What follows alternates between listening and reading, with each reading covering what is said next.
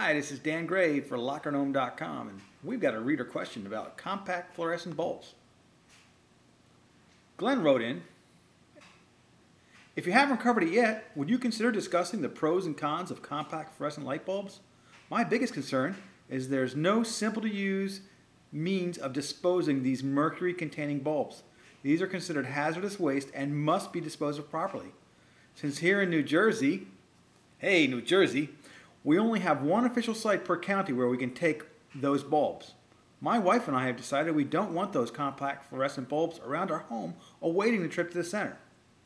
We do recycle all papers, cans, bottles, etc. every two weeks at our local municipal recycling centers.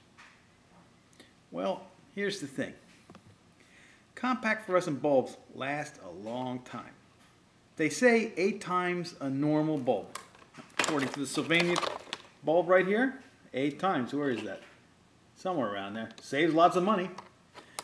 You're not going to be throwing many of these out. They do last quite some time. I know that in my house, it's been years since I've replaced some of the bulbs with compact fluorescents, and they're still chugging along. That having been said, you don't want to throw these in the trash. You've got to find the right place to, to, get, to get rid of them. Now, if your county recycling center takes them, that's cool, man. Find a place, a little box, a bucket, store them, take them when you can. It doesn't have to be every month. You're not going to have that many of them.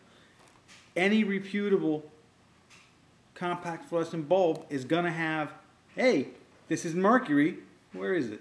It's on there someplace. Oh, right there. Lamp contains mercury, and it's going to tell you where you can get more information. Lamprecycle.org, or there's a phone number 1 866 666 6850. What's up with the 666 in the light bulbs? I don't know. So, anyway, I kind of think it's a non issue. You're going to save a huge amount of money on your electric bill.